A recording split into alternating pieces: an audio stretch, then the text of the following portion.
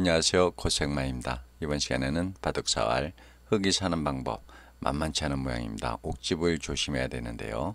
수일, 수일기를 잘 하셔야 될 것 같습니다. 과연 사는 방법 옥집을 피해서 사는 방법을 한번 찾아보시기 바랍니다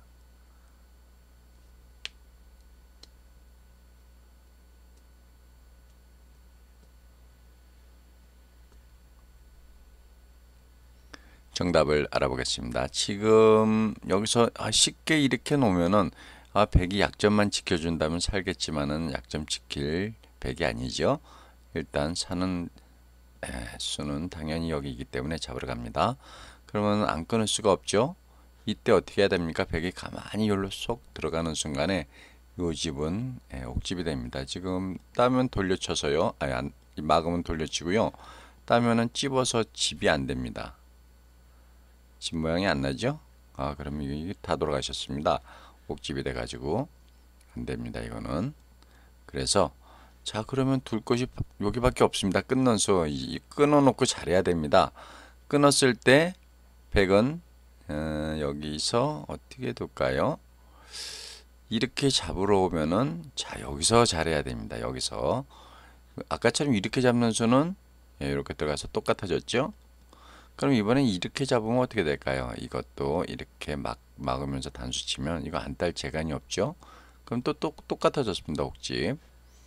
그래서 지금 여기서 가요. 예, 요 집을 옥집을 피해야 되는데 바로 이렇게 가만히 뻗는 수가 되겠습니다. 이렇게 뻗으면 백이 여기 집을 야 이거는 선수하고요. 아, 여기 옥집을 만들어야 되는데 이건 밀면 막을 것이고 이렇게 놓는 수도 안 되죠. 이쪽에 자충을 해도 단수. 이쪽을 자충하면은 이쪽에서 단수 치고요. 그래서 관건은 이렇게 뻗는 수, 요 수를 아시면 되겠습니다. 그럼 백이 처음부터 자 이렇게 흙이 났을 때 이렇게 잡으러 오면 어떻게 되느냐?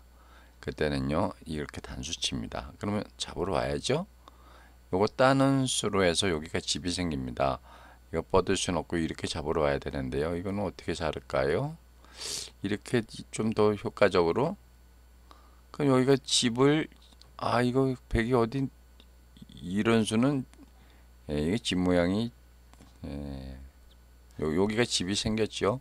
여기 포함은 이쪽이 이으니까요. 아 밖으로 나가서 싸울 수도 있네요. 그래서 지금 처음부터 이렇게 잡으면 이런 식으로 해서 여기가 집이 나는 모양이 됩니다. 그렇죠? 그래서 처음부터 이렇게 백이 아, 흙이 끙끙 났을 때 요거 뻗는 수, 요수를 하시면 되겠습니다. 이렇게 해서 바둑사활 흙이 사는 방법 알아봤습니다. 그러면 다음 시간까지 안녕히 계십시오. 감사합니다.